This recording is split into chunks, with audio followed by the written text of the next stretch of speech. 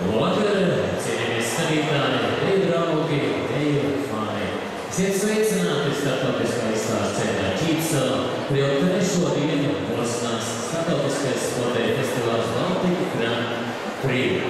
Jau kārtējais gads, un šogad jubilēja 35. reizi bosnās šis starptautiskais Latvijā krāšņā pēc lielākais arī pasaulē atzinību iegūšais sportēja festivāls. Bet vēl lielāk jubilēja kopš pirmajām sportēja sacensībām Latvijā.